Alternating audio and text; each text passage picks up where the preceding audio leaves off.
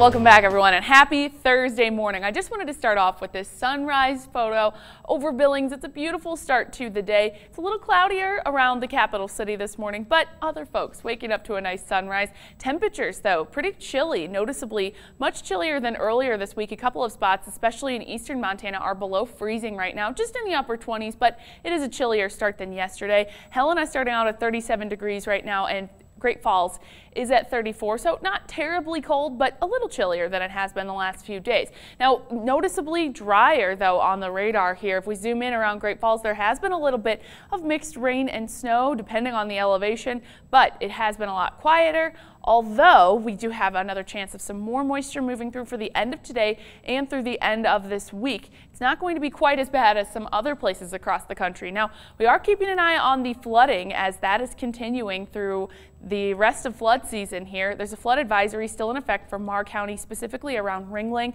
where there has been a little bit of small stream flooding. That is until later on today, but typically what happens with the flood advisories is they assess it every couple of days and extend it if necessary. Now, I mentioned that we're waking up to much calmer conditions than yesterday. Other folks across the country, extremely different story. So in the Dakotas all the way through Kansas, there's this huge winter storm moving through this April blizzard. This area in red here, that's actually an area under a blizzard warning. There's whole lots of other watches and warnings, winter storm warnings, winter weather advisories, wind advisories, everything across the map here. So we're getting a little bit calmer weather compared to the Midwest. Now you can see that storm continuing to push off to our east while we experience relatively calm conditions. That is going to be moving north and east and away from us, although we do still have some chances of precipitation through today and tomorrow. You'll see tomorrow kind of a spotty shower type of day. It's not going to be anywhere near yesterday or those other folks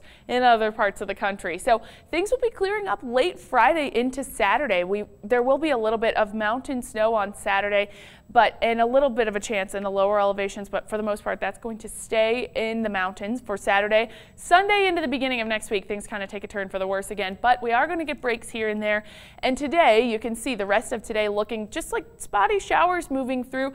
A little bit of rain and snow similar to yesterday, but yesterday was certainly the worst of it. Things are really calming down today and into tomorrow as well. Just that persistent kind of cloud cover, kind of dreariness for the end of the week here, but not anything really affecting commutes or really causing too many problems for the end of the week here. Check out the seven day forecast. You can see those chances of precipitation way, way lower than yesterday. It's not going to be anything like yesterday. I want to really make that clear. It's not going to be quite as bad.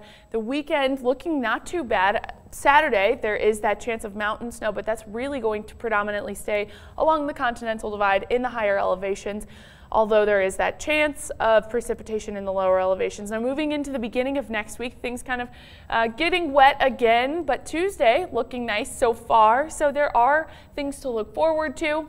Just kind of on and off showers here. Don't put the boots away just yet. Just be prepared. Yes. Always good to know. Thanks, Katie.